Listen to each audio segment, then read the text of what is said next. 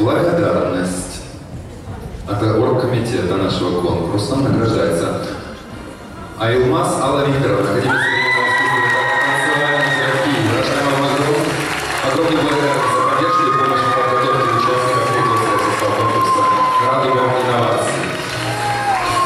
И также благодарность вручается коллективу «Говори молча» за многообразие, за многообразие танцевальных направлений, представленных на конкурсе.